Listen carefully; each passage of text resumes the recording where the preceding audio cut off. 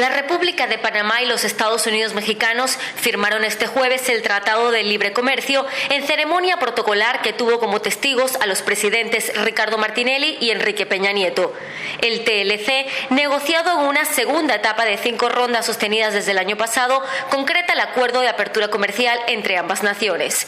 En la ceremonia estuvo presente el ministro de Relaciones Exteriores, Francisco Álvarez de Soto, quien también manifestó complacencia por este logro de la diplomacia económica panameña que además fortalece las históricas relaciones entre Panamá y México.